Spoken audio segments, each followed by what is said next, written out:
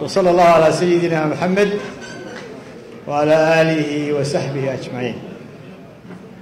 madaxweyne madaxda axsaabta iyo mas-uuliyiinta axsaabtaba wasiirada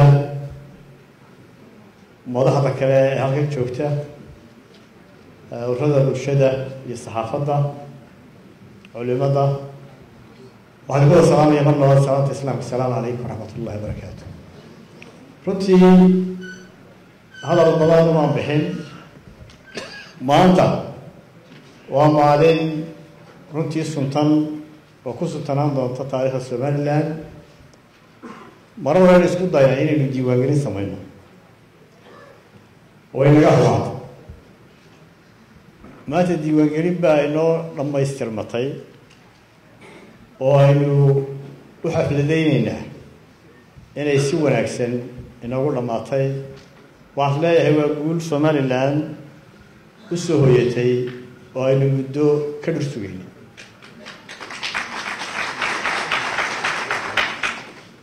waxaan runtii hambalyeynayaa dhammaan qaranka somalilan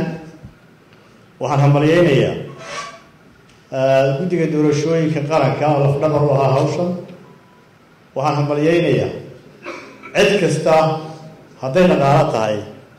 iyo hadday farsamo tahayba ku biirisay si arrintaasi u guulaysato? Ay ugu horeeyaan qaadhaanbixiyayaasha iyo xukuumadda somalilan iyo cid kasta oo gacan ka geysatayba waxaan doorashada iyo diiwaangelinta ku soo gunaadi lahayd waxaa la yidhi hooyo wanaagsan baa dhimatay oo carruur badan lahayd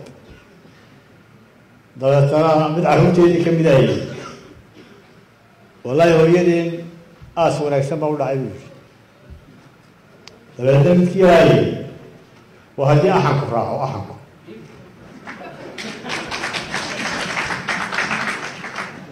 Diiwaangelin wanaagsan baa inoo dhacday.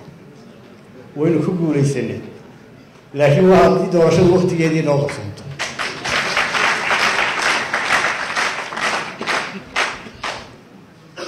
qaadhaanbixiyaasha runtii waan u hadlaqayaa waxaana leeyahay. Dee hawshii weli may dhammaanin xukuumadda somalilan intii runtii intii loogu talagalay in ka badan bay bixisa laakiin waxaa looga baahan yahay laftigoodu inaanay hawsha halkii kaga hadhin laakiin ay dhammaystirkeeda hadday diiwaangelinta tahay iyo hadday doorashada tahayba inay gacantii ay ku lahaayeen sii wadaan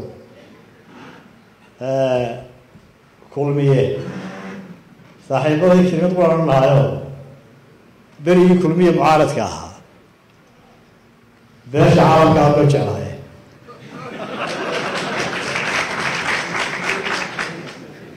markii lixda qodobla saxeexayay aada loo jeclaaye ee doorashada ku suurto gashay marka waxaan leeyahay bal beesha caalamka ana ugu fogaanina wasalaamu calaykum waraxmatullah